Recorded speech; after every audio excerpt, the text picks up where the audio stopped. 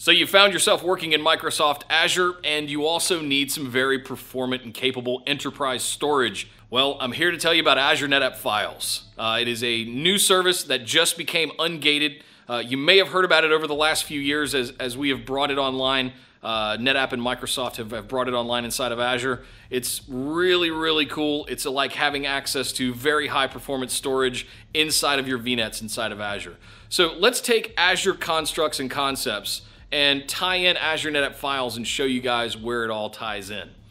So in the big umbrella that is Azure, uh, across all things, You've got multiple different things you can use. You've got networking to do, you've got regions, you've got availability zones you can uh, uh, determine inside of those regions. And inside of all of those, you've got storage accounts and virtual machines and all of this functionality that you can use. Where Azure NetApp Files comes into play, that's what I want to show you guys today. Because before now, you would have Azure Disks or Azure Files or Azure Blob if you were doing Object. So let's break this down. In the beginning, there was Azure Disks, Azure Files, and Blob for Object, right? Now, over the last few years, we've brought on premium versions of this at Microsoft. So you have Azure Premium SSDs and you have Azure Premium files that get you a little bit more performance and a little bit more uh, resiliency, if you will. Somewhere in the middle right here, though, there was a big gap a few years ago, and it was recognized by Microsoft, and they brought in what was originally called NFS as a service. Now, as we were conceptualizing this with Microsoft, we thought that's not really that good of a name. What if we called it uh, Azure Enterprise Files, right? Because we've already got Azure Files. Well, this is going to be Enterprise. To designate some of that resiliency and performance that you're used to getting on prem, bringing that up to the cloud. Well, we built it, and we're going to go over that in just a second. But the final name that it landed on was not Enterprise, it was Azure NetApp Files. Azure NetApp Files, in a nutshell, is uh, NetApp's A700 all flash FAS arrays wired directly into uh, regional data centers so that you have your VNets and your workloads have direct access to an A700 all flash FAS and all of the performance and horsepower that it brings to the table. That's what I want to go over with you guys today and talk about how you do architecting solutions, uh, much like you will with Azure Files or Azure Disks, but we're going to do that as, as part of this discussion. So hang tight, let's reset the board. So in Azure, you have what's known as a VNet. In AWS and Google Cloud, those, those are known as VPCs, but they all have their own kind of nuance and they all have their own different ways of working. But think of it as a logical container for a working set of various services and products. Inside of that VNet, you have things called subnets, and you can delegate a subnet to uh, any VNet in order for it to take advantage of that IP address range. Right? Azure NetApp Files sits out here as a service to be able to be delegated into a VNet so that the workloads inside of that VNet can take advantage of the underlying storage. That's just how we wire up uh, a storage array to your VNets, if you think about it in that way. We do it through subnet delegation. Now, inside of this service known as Azure NetApp Files, you have multi-region access. So you can have an instance of Azure NetApp Files in each region. We do that by tying it to a storage account, right? A storage account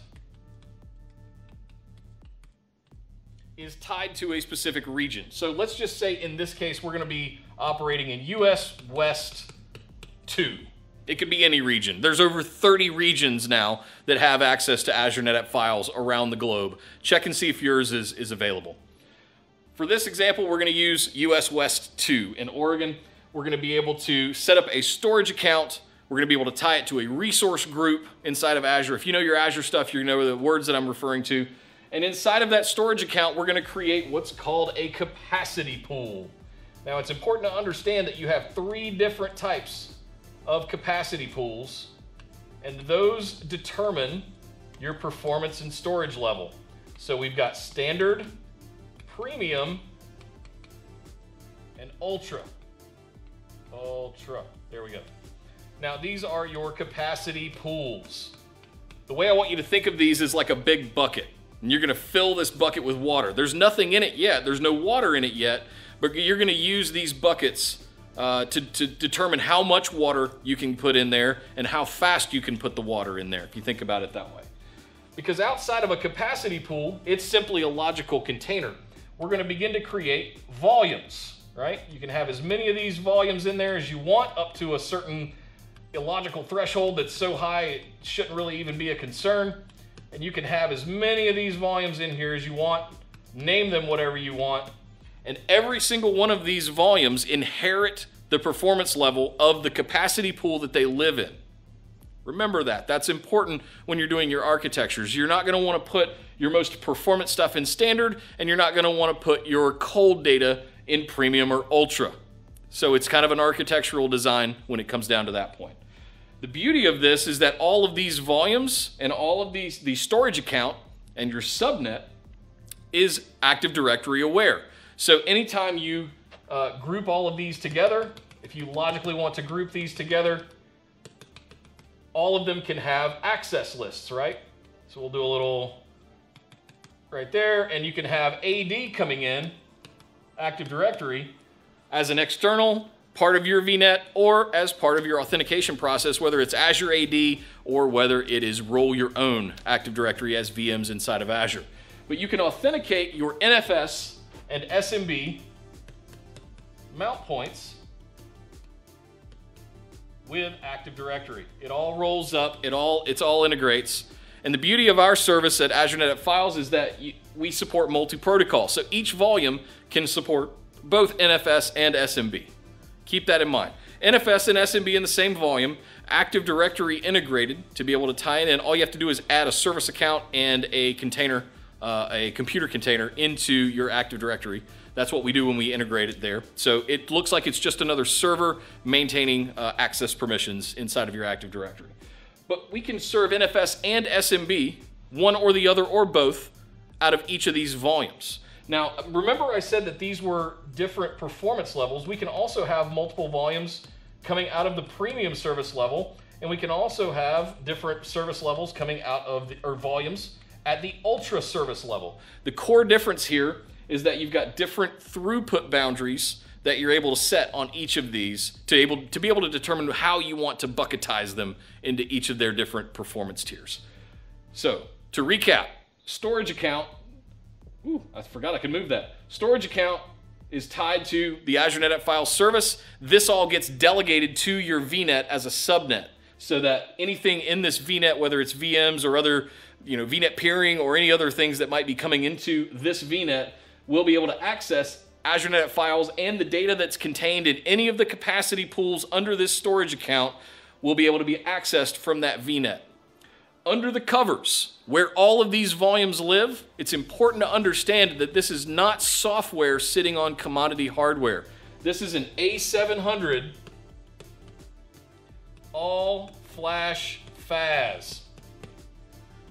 It's actual hardware. You're getting direct access to an A700, which is probably an upgrade over what you have on prem today. So the performance levels and the hundreds of thousands of IOPS and sub-millisecond latency you're going to get simply by turning on a service and getting a dollar per gigabyte, per, or it's 15 standard list price is like 15 cents per gigabyte per month.